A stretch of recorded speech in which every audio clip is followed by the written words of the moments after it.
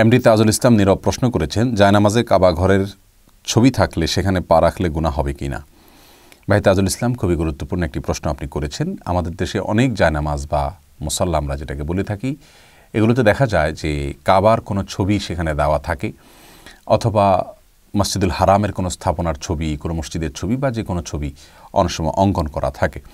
এরকম জায়নামাজের উপরে সালাত আদায় করলে সালাত হবে কিনা একটি প্রশ্ন, আর কাবাঘরের ছবি থাকলে সেখানে আমরা যদি সালাত আদায় করি, সেখানে পাও আমাদের লাগতে পারে, আমাদের নিতম্ব লাগতে পারে জায়নামাজের উপরে। তো এতে কাবাঘরের প্রতি অসম্মান প্রদর্শন হবে কি না? টোটাল বিষয়টিকে সামনে রেখে আমরা বলতে চাই যে, এরকম জানামাজের উপর যদি সালাত আদায় করেন, কেউ সালাত হয়ে যাবে ইনশাআল্লাহ বিদিনা সালাত হবে না বিষয়টি সেরকম নয়, তবে এটি অনত্তম একটি কাজ। কারণ বুখারি মুসলিম একযুগে বর্ণনা করেছে যে আম্মাজান আয়সাদুল্লাহ তালাহা বর্ণনা করেছেন, রসুল করিম সাল্লাহ আলি সাল্লাম একবার কোনো একটা কাপড়ের উপরে সালাত আদায় করেছেন। সেই কাপড়ের ওপরে কিছু অঙ্কন করা ছিল। নবী আলিসাল্লাম সালাদ শেষ করার পরে বললেন যে, এই কাপড় নিয়ে যাও, তোমরা আরেকটি কাপড় নিয়ে আসো যেটা ফ্রেশ থাকবে, কোনো অঙ্কন করা কোনো কিছু থাকবে না। তো তিনি কাপড়টিকে পরিবর্তন করে এনেছিলেন। কারণ হিসেবে উল্লেখ করেছেন যে, এটি আমার সালাতের মনোযোগকে নষ্ট করছিল।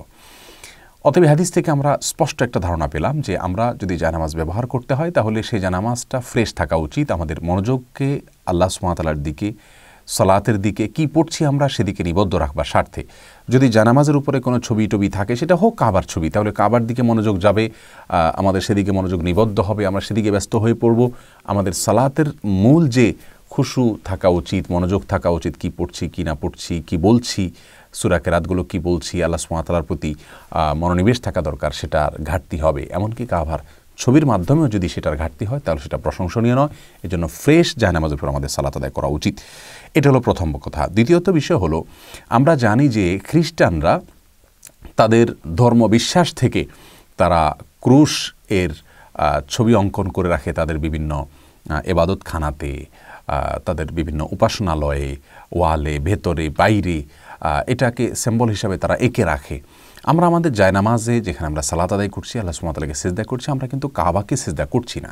সেখানে যদি কাবার ছবি অঙ্কন করা থাকে, তাহলে হুবহু খ্রিস্টানদের মতো ওইরকম হয়ে যাচ্ছে বিষয়টা সেরকম না, কিন্তু কিছুটা দৃশ্য তো সেরকম হচ্ছে যে আমরাও একটা কাবাগরের সিম্বলকে আমাদের জানামাজে আমরা রেখে দিচ্ছি, যেটা কিন্তু ইসলামের আকিদ এবং বিশ্বাসের সঙ্গে যায় না। আমরা সেজদা করছি আল্লাহকে, কাবাকে নয়।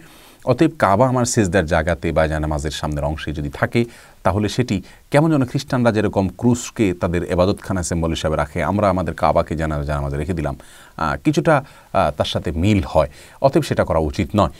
আর তৃতীয়ত হলো, জানামাজের মধ্যে যদি কাবার ছবি থাকে, তাহলে সেখানে আমাদের পাও কখনো না কখনো টাচ হবে। ঘুরে যখন বসবো তখন তার উপরে বসতে হবে। তো কাবা ঘরের প্রতি কিছুটা তার ছবির প্রতি অসম্মান হলে সেটা কাবা ঘরের প্রতিও কিছুটা অসম্মান হয়ে যায়। এই জন্য আমাদের এ ধরনের জায়নামাজ অ্যাভয়েড করা উচিত, যেটাতে কাবা অথবা হারামের কোনো ছবি থাকবে, মসজিদের কোনো স্থাপনার কোনো ছবি থাকবে এগুলো আমরা সালাদ আদায় করব না। করলে সেটা মাকরু হবে, অপছন্দনীয় হবে।